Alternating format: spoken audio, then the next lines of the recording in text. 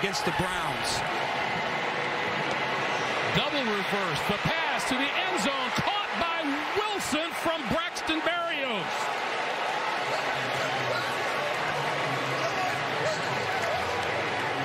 The end man on the line of scrimmage, Malik Reed, is the only player that can see this because everybody else is going with their reads and their keys.